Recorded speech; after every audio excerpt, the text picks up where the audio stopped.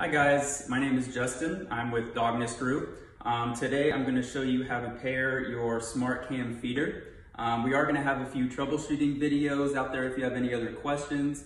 Um, always feel free to give us a call at 1-833-DOGNESS. Um, we have an in-app help device that you can reach right to us. Um, also follow us on Facebook and you can message us and we'll get back to you as soon as we can. Um, okay, so you've got your smart cam feeder, congratulations. Um, so what I'm gonna do to start is a couple, uh, just a couple items. Um, first of all, the device works on 2.4, uh, not 5 for your internet connection. Um, so when you go to your settings, make sure the device you're using, your phone, your tablet, is going to be set using the Wi-Fi in your 2.4 version. Right here it says Dogness, but you see how there's a 5G and then there'll be another one. You'll pair it with that. Um, one other helpful tip, um, when you go to your uh, display and brightness, uh, make sure you're on light mode. That way when you're repairing it, you can see it, it, it you can read it better basically. Okay? And then one other thing, download our free Dogness app. Um, it's, it's completely free, like I said, no subscription. Um, go ahead and uh, register your account also so you can get that ready.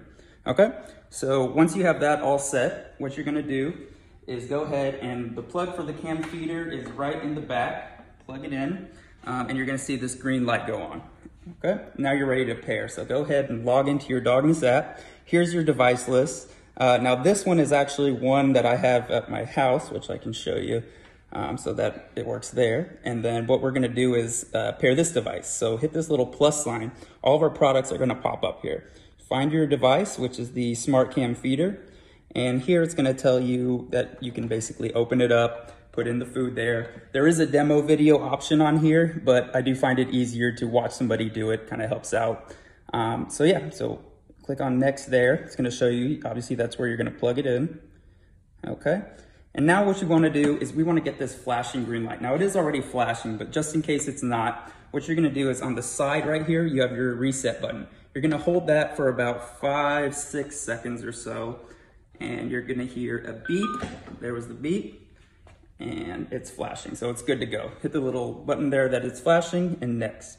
Now here, what you're gonna do is put the exact same Wi-Fi uh, that your phone's on, so for the device. So you have your dog's name, and I'm gonna go ahead and put in the Wi-Fi password.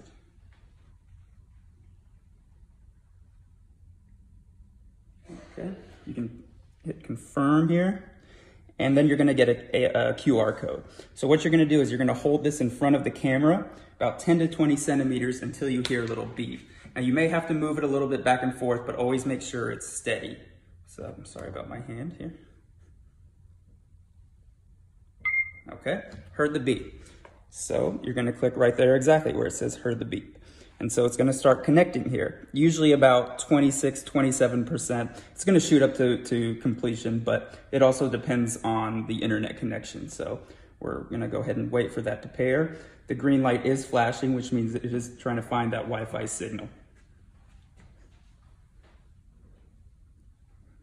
Okay.